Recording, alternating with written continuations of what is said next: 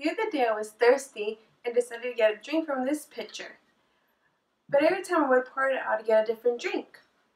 Sometimes I would get pink lemonade, sometimes I would get water.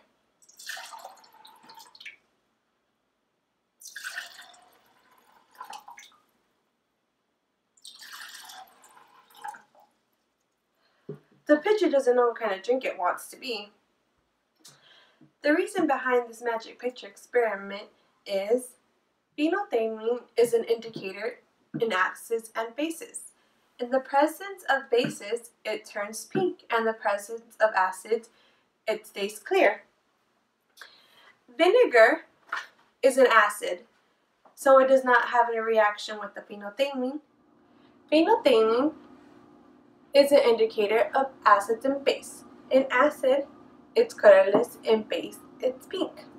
Ammonia is a base and it was added to the pitcher. So when added to the phenolphthalein in beakers 1 and 3, it turned pink. Now, what hap now watch what happens when we pour all the cups back into the pitcher.